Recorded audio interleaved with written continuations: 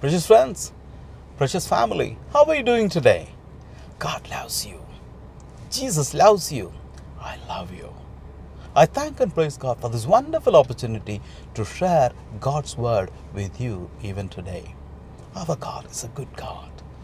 In the book of 1 John, chapter 3, verse 1, we read like this Behold, what manner of love the Father has bestowed upon us. Upon whom? The children of God. Upon whom? The true Christians. It is talking about the status of a true Christian. What manner of love the Father has bestowed upon us that we should be called the sons of God, the daughters of God. Therefore, the world knows not because it knows God not. You got it? The world doesn't know God. That is the reason they do not know us as well because we are the children of God. As a true Christian, you are a son of God, you are a daughter of God. That is what God claims, and that is what God says. That is the truth, my brother. In the book of John, chapter 8, verse 32, we read like this You will know the truth, the truth will set you free. You got it? It is our ignorance which keeps us bound, which keeps us in darkness, which keeps us in pain, sorrows. Yes, it is our ignorance. When you come to know the truth, the truth will set you free. My brother, my sister, my friend, in case, in case, if you too want to be a daughter of God or a son of God, listen to this message very carefully. I will share the secrets with you. God is a good God. God is impartial. God loves everyone the same way. But many a times we are ignorant of the truth.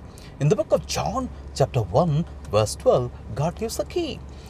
But as many as received him, as many as received Jesus, to them he gave power to become the sons of God. Who? God gave the power to become the sons of God, the daughters of God, even to them that believe on his name. If you believe in Jesus' name and if you receive him as your Lord and Savior, you can become son of God or daughter of God. You got it? That is the key. That's the key. In the book of Revelation, chapter 3, verse 20, we read like this Behold, I, Jesus says, I stand at the door and knock.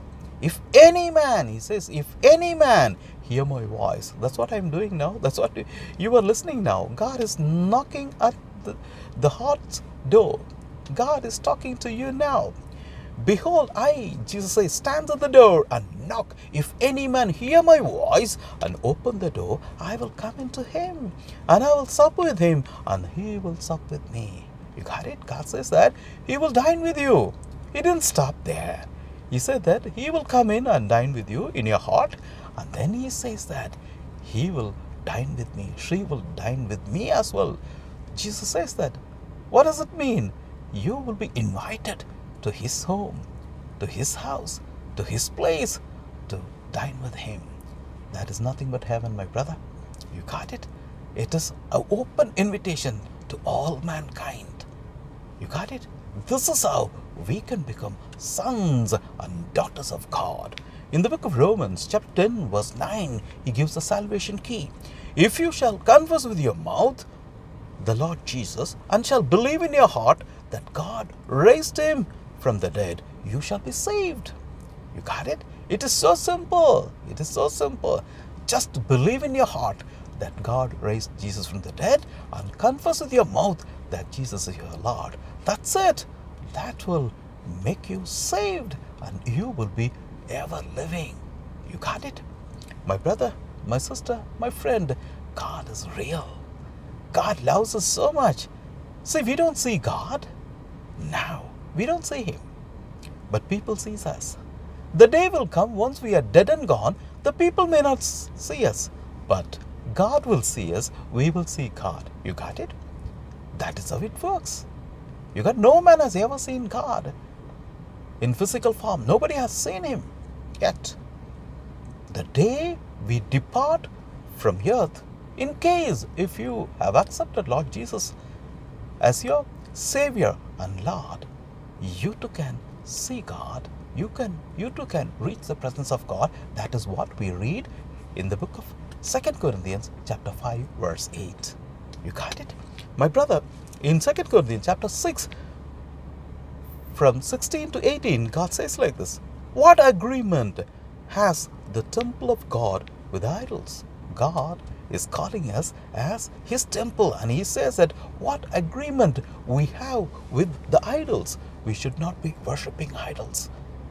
We should get rid of idols. That's what God says. For all of you are the temple of the living God, as God has said, I will dwell in them, I will walk in them, I will be their God, and they, they shall be my people. You see, once you have accepted Lord Jesus, God makes us his own temple. He will begin to live in us, He will begin to walk in us, and He will be with us. Where? In our hearts. Our heart is nothing but the temple of God. It becomes the temple of God the moment you choose Jesus as your Lord and Savior. That opens the door for God to come into your heart. That is how we receive peace, we receive joy, we receive hope. We come out of all the darkness when God walks into our heart. You got it? My brother, my sister, my friend. And God continues to say this Wherefore, come out from among them. He says that come out from among them, from among whom? From the worldly, ungodly people. He says that come out of them and be all of you separate. He said separate yourself from the worldly people. You got it? And then he continues to say, Says the Lord, and touch not the unclean thing. Whatever is unclean, touch not. You know what it is. You know what it is. Every unjust, every sinful, evil nature and things don't even touch. God says that come out of them, separate yourself from them, and touch not the unclean things. And God says, I will receive you, and I will be your father unto you, and all of you shall be my sons and my daughters, says God Almighty. You say, can God lie? God says that when we accept Lord Jesus as our Savior, and when we choose to live a holy life following the Holy Bible, God says that He will become our own Father. He says that He will make us His own son, His own daughter. What a wonderful, amazing privilege that would be. That is the truth. That is the status of a true Christian. And in the book of Acts, chapter 2, verse 38, God says like this Repent and be baptized, every one of you, in the name of Jesus Christ, for the remission of your sins, and all of you shall receive the Holy Spirit. You got it? He says that you will receive the gift of the Holy Spirit. When?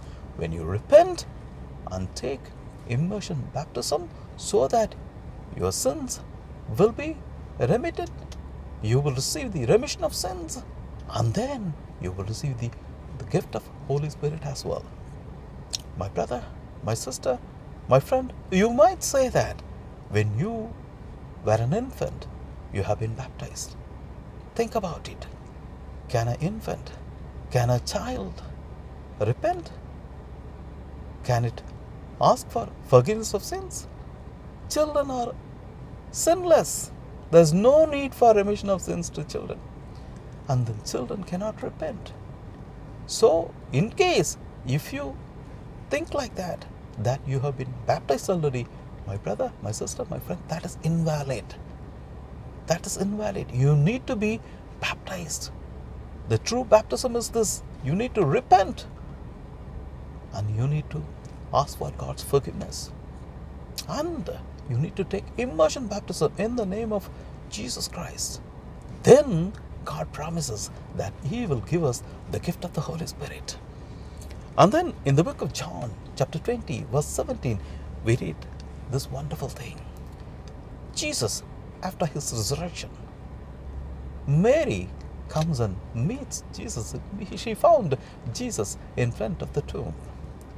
The moment she recognized Jesus, she wanted to touch him.